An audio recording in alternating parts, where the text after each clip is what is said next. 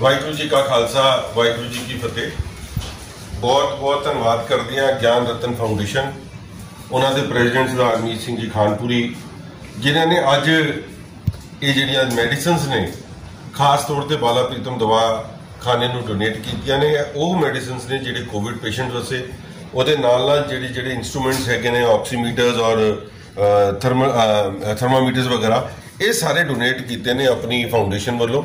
ਔਰ ਇਹ ਗੱਲ ਦੇਖਦੇ ਹੋਏ ਕਿ ਜਿਸ ਤਰੀਕੇ ਦੇ ਨਾਲ ਦਿੱਲੀ ਸਿੱਖ ਗੁਰਦੁਆਰਾ ਪ੍ਰਬੰਧਕ ਕਮੇਟੀ ਸੇਵਾ ਕਰ ਰਹੀ ਹੈ, ਗਰੀਬਾਂ ਵਾਸਤੇ ਔਰ ਖਾਸ ਤੌਰ ਤੇ ਬਿਮਾਰਾਂ ਵਾਸਤੇ, ਜਿਸ ਕੋਵਿਡ ਦੇ ਟਾਈਮ ਦੇ ਵਿੱਚ ਜੋ ਇਹ ਸੇਵਾ ਕੀਤੀ ਉਹਨੂੰ ਦੇਖਦੇ ਹੋਏ ਬਹੁਤ ਸੇਵਾ ਇਸ ਫਾਊਂਡੇਸ਼ਨ ਨੇ ਵੀ ਕੀਤੀ ਹੈ, ਵੱਖ-ਵੱਖ ਸੰਸਥਾਵਾਂ ਦੇ ਵਿੱਚ, ਜਿੱਥੇ ਇਹ ਸਾਡਾ ਸਹਿਯੋਗ ਕਰਦੇ ਨੇ, ਜਿੱਥੇ ਇਹਨਾਂ ਦੀ ਜ਼ਿੰਮੇਵਾਰੀ ਲਾਈ ਜਾਂਦੀ ਹੈ। ਮੈਂ ਅੱਜ ਇਹਨਾਂ ਦਾ ਤਹਿ ਦਿਲੋਂ ਧੰਨਵਾਦ ਕਰਦਾ ਔਰ ਗੁਰਚਰਨਾਂ ਜੀ ਅਰਦਾਸ ਕਰਦਾ ਕਿ ਇਹ ਗਿਆਨ ਰਤਨ ਫਾਊਂਡੇਸ਼ਨ ਇਸੇ ਤਰੀਕੇ ਦੇ ਨਾਲ ਮਾਨਵਤਾ ਦੀ ਸੇਵਾ ਕਰਦੇ ਰਹਿਣ।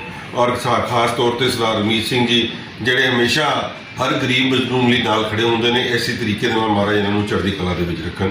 ਵਾਹਿਗੁਰੂ ਜੀ ਕਾ ਖਾਲਸਾ। ਵਾਹਿਗੁਰੂ ਜੀ ਕਾ ਖਾਲਸਾ ਵਾਹਿਗੁਰੂ ਜੀ ਕੀ ਫਤਿਹ। ਜੋ ਜੋ ਸੇਵਾ ਡੀਐਸਡੀਐਮਸੀ ਲਾ ਰਹੀ ਹੈ ਹਰ ਥਾਂ ਦੇ ਉੱਤੇ।